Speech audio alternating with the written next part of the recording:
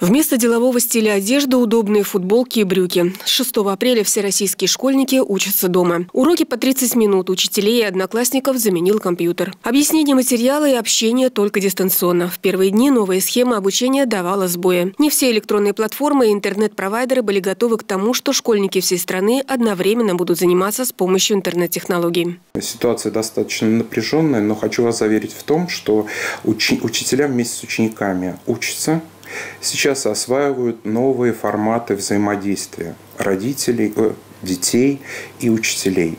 И в первые два дня действительно было достаточно напряженно.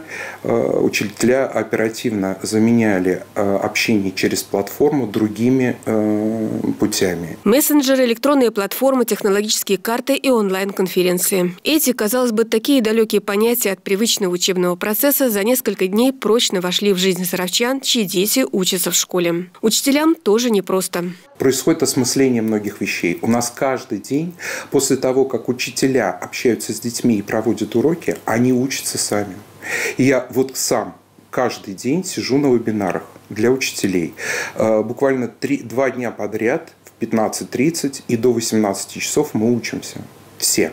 И директора, и завучи, и э, учителя, и руководители системы образования. По словам Владислава Мухина, Департамент образования не ограничивает учителей в использовании платформ и мессенджеров. Главное, чтобы ученики усвоили школьную программу. Обязательные условия – ежедневное общение школьников с классным руководителем и выдача учебных материалов накануне занятий. У нас на передовой медики, а вторым эшелоном идут педагоги это я точно могу сказать, нет педагогов, которые сидят сложа руки и ждут, когда за них их работу выполнят родители. Это я могу сказать совершенно точно. Что касается работы детских садов 13 апреля, то решение о необходимости дополнительных дежурных групп будет принято после поступления официальной информации из ядерного центра. Только после того, как будет известно количество сотрудников, которые выйдут на работу, сформируют, если будет нужно дополнительные группы в дежурном детском саду, либо откроют дежурные группы в нескольких садах.